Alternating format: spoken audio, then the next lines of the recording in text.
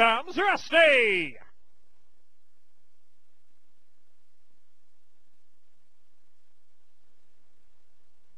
Thereof. It's a four and five breaking out on top. Then comes a one, two, eight, six, three, and seven as they head out of that first turn now. That's the bullet showing the way. See you bulletproof. There's the four, Billy Bob. Then it's back to the two. That's pure country. That is a stakes dog from Dubuque. Then the six is brand new Mike, followed by the eight, Gable Latte. Then the upset artist Scooby Doo as they round that final turn.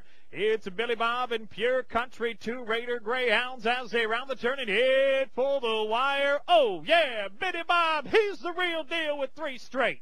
5426 2810 4261 Super 16660 and the Quinella double 1 4 and 2 4 360